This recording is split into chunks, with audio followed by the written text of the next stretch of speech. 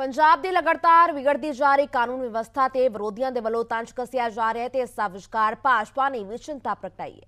ਪੰਜਾਬ ਭਾਜਪਾ ਪ੍ਰਧਾਨ ਅਸ਼ਵਨੀ ਸ਼ਰਮਾ ਨੇ ਆਮ ਆਦਮੀ ਪਾਰਟੀ ਸਰਕਾਰ ਨੂੰ ਗੈਰ ਜ਼ਿੰਮੇਵਾਰ ਦੱਸਿਆ ਹੈ ਤੇ ਆਖਿਆ ਹੈ ਕਿ ਪੰਜਾਬ ਨੂੰ ਦਿੱਲੀ ਤੋਂ ਅਰਵਿੰਦ ਕੇਜਰੀਵਾਲ ਚਲਾ ਰਹੇ ਨੇ। ਇੰਨਾ ਹੀ ਨਹੀਂ, ਅੰਗਰੇਜ਼ਾਂ ਦੇ ਪੰਜਾਬ ਦੇ ਵਿੱਚ ਕੰਮ ਕਰਨ ਵਾਲੇ ਬਿਆਨ ਉੱਤੇ ਵੀ ਸੁਨੀਲ ਜਾਖੜ ਨੇ ਵੀ ਤੰਜ ਕੱਸਦਿਆਂ ਹੋਏ ਆਖਿਆ ਕਿ ਪੰਜਾਬ ਦੇ ਲੋਕ ਖੌਫ ਦੇ ਵਿੱਚ ਰਹਿਣ ਨੂੰ ਮਜਬੂਰ ਹੋ ਰਹੇ ਨੇ।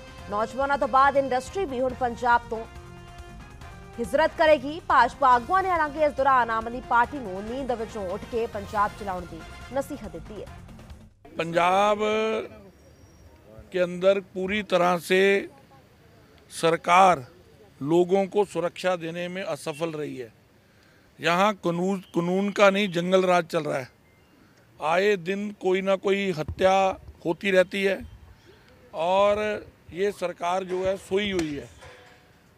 पंजाब के अंदर पहले जो टूरिज़्म पे रहे और पंजाब, क्योंकि पंजाब की से नहीं चल रहा, दिल्ली से चल रहा है, इसलिए ना ये पंजाब की समस्याओं को समझते हैं, ना पंजाब के की संवेदनशीलता को समझते हैं। तो जो तरन तारण के अंदर हुआ है, ये सरकार कब जागेगी?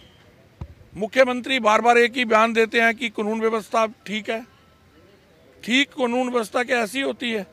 इनकी इंटेलिजेंसी कहाँ सोए रहते हैं ये लोग? कि इनको समय घटना घटित होने के बाद चौकसी करना, उसका क्या अर्थ है? आज पंजाब के अंदर डर और भय का माहौल है। इस माहौल के अंदर मैं समझता हूँ कि आज जहाँ ये इन्वेस्टमेंट समिट आ रहे हैं एन आर आई समिट बुला रहे हैं, बेमायन है। कोई भी आदमी इस खौफ के माहौल के अंदर, ये तो भगवंत मान जी तो बात कर रहे थे कि विदेशों से गोरे थे आके काम करनगे मेरे को लगता है अभी जो बची खुची इंडस्ट्री भी यहाँ है हर एक पहले सिर्फ नौ- बच्चे जाया करते थे अब मैं समझता हूँ बाकी यहाँ से इंडस्ट्री भी पलायन करने के मूड में है ਇੱਥੇ ਰੁਕਾਂਗੇ ਇੱਕ ਹੋਰ ਬ੍ਰੇਕ ਲਈ ਜਲਦ ਹਾਜ਼ਰ ਹੁੰਦੇ ਹਾਂ